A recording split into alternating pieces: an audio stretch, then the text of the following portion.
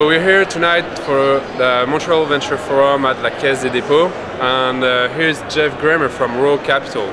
So Jeff, how are you enjoying your night today? Uh, it's been a really good day. Uh, this morning we had a chance to meet some great entrepreneurs, Yeah. and uh, we also had a chance to meet a lot of people in our industry as well. Great. So Jeff was a panelist on um on uh, on the conference and uh, one of the biggest funds, actually, and the most the most involved in the Montreal uh, community. So do you want to speak a little bit of what Sure. Um, we represent Rho Canada, and Rho Canada, our first fund, was formed in 2006. It's a $100 million fund uh, exclusively in Canada.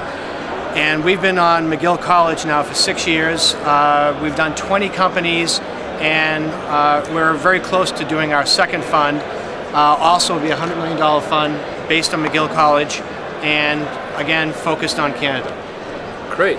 And why in why Canada and especially Yeah. Montreal or the province of Quebec? What what makes the, the, this province and this uh, this space so so special?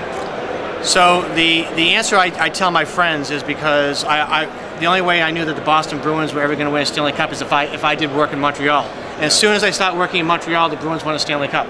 So that's the funny answer. The real answer to the story is entrepreneurs have always been here, and what I like is early stage venture capital. And in the United States, I've worked in Silicon Valley, I've worked in Boston. They're great firms, but they all became bigger funds, and they weren't really entrepreneurial anymore. And to me, it's all about the entrepreneur.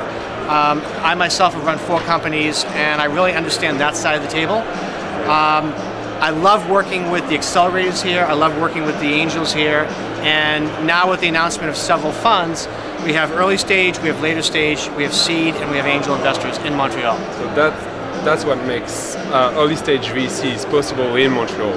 So there are early stage VCs in Montreal. There, there are early stage, but even better, we now have a good feeder with the seed funds and the accelerators. We actually have companies that are mentored to the stage that they hit early stage. And we also do some seed funds. That's amazing.